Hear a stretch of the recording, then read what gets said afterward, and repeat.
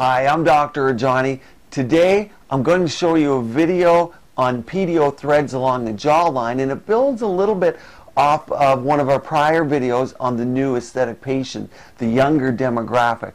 This is a patient who already has a beautiful, gorgeous jawline and neckline and wants to maintain it. And we're going to use PDO threads along the jawline. Sometimes we use coil, smooth, and sometimes barb, depending on what we're trying to create. So let's go to the video and I'll narrate it for you.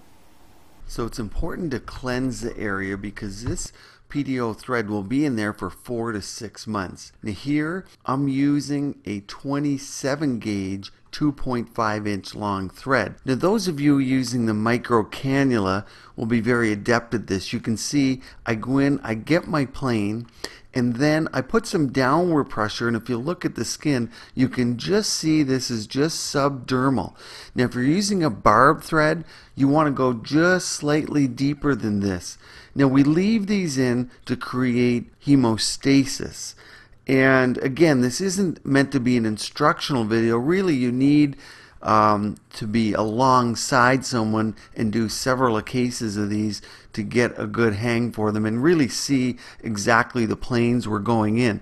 But the jawline as we're doing today is very popular and it goes along well with our new, treatments for the neck region that dissolve the adipose tissue. And here we're using kind of that new mesh technique with the smooth threads. If we wanted a little bit of volume, you could use a coil, but more commonly we'd use a barb one and vector it upwards. But in this patient, we don't need as much lift. We have more time.